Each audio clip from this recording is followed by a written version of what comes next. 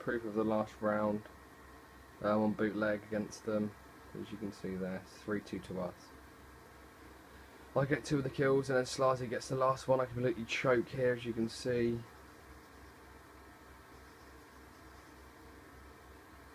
There we go. Then Slazy gets the last kill on Imps. As you can see. We'll get rid of that out of the way.